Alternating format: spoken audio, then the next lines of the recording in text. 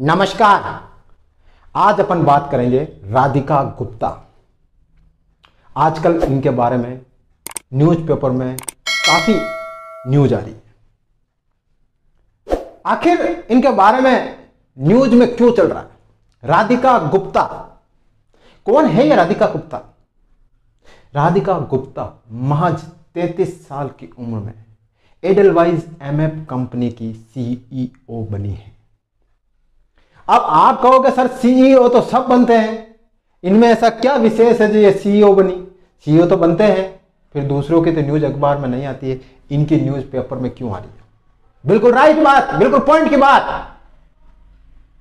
राधिका गुप्ता उन लड़कियों में से है जो जीवन में सबसे ज़्यादा संघर्ष, देखा और अपमान झेला अपनी फ़िज़िकल वीकनेस के कारण।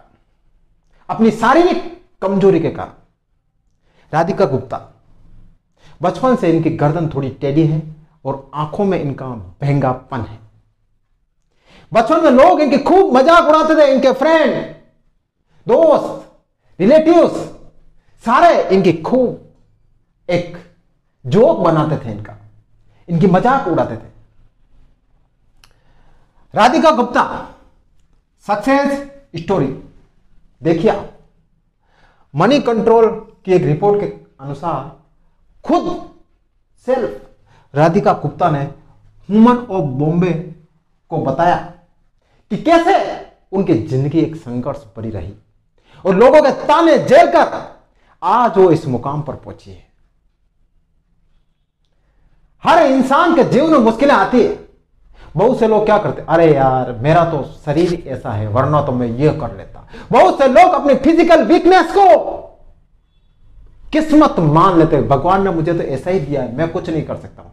लेकिन कुछ लोग अपनी फ़िज़िकल वीकनेस को, भले उनके अंदर फ़िज़िकल वीकनेस है, लेकिन वो अंदर से मेंटली स्ट्रांग होकर दुनिया को बताते हैं कि अगर आप में कुछ करने का जज्बा है ना तो आपकी फ़िज़िकल वीकनेस कहीं भी आड़े नहीं आएगी। और वही एग्ज़ाम्पल देती है राधिका गुप्ता। देखिए आप। राधिका के गर्दन में, गर्दन टेढ़ी और आँखों में भेंगापन है। थोड़ी सी उनकी गर्दन टेढ़ी रहती है और आँखों में थोड़ा भेंगापन रहता है। राधिका गुप्ता के फादर एक राजनयिक थे। उनकी जॉब अलग अलग विदेशों में रही। कभी इसराइल पाकिस्तान, नाइजीरिया अलग अलग जगह रही। और अलग अलग जगह राधिका की स्टडी चली। उनकी माँ एक अच्छी शिक्षित लेडी है और जहाँ जिस स्कूल में राधिका गुप्ता पढ़ती थी, उसी स्कूल में उसकी माँ भी टीचर थी। तो लोग राधिका की तुलना उसकी माँ से करते उसकी माँ, राधिका की माँ एक तेजस्वी महिला थी। राधिका को अंदर ही अंदर घुटन होता। उनके फ्रेंड्स उनके बार बार मज़ाक उड़ाते उनकी टेडी गर्दन के कारण। उनकी आँखों में बेंगापन होने के कारण। जब राधिका गुप्ता पड़ी हुई तो सेवन टाइम्स, सेवन बार उन्होंने किसी कंपनी में अलग अलग कंपनी में जॉब इंटरव्यू फाइट किया। सेवन बार रिजेक्ट हुई और 22 की उम्र में सुसाइड करने का प्रयास किया।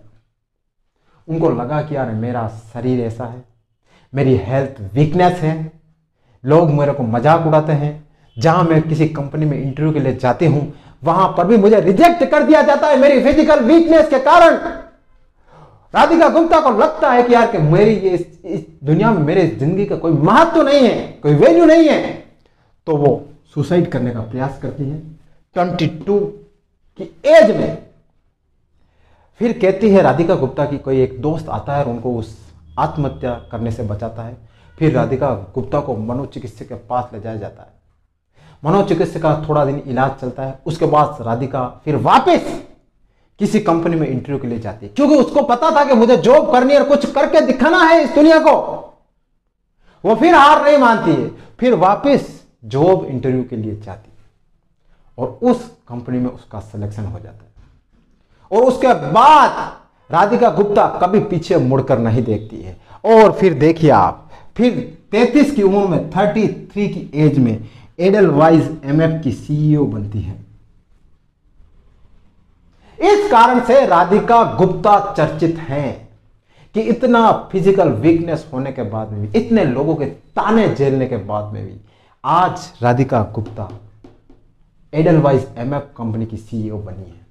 बहुत से कम लोग ऐसे होते हैं जो अपनी शारीरिक वीकनेस के रहते हुए टॉप की पोजीशन पहुँचते हैं। और दुनिया में एक मुकाम बनाते हैं, एक पहचान बनाते हैं शारीरिक वीकनेस के साथ में।